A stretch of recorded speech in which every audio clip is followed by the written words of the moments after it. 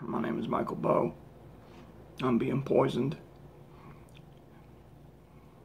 I own several businesses. I own a t-shirt business. I own several technologies. I have two brands. Um, I have all this money. I have a patent worth a lot of money.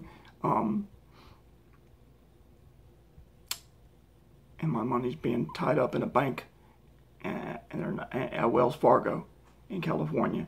And I'm not being allowed to get it. They're not allowing me to get any of my damn money.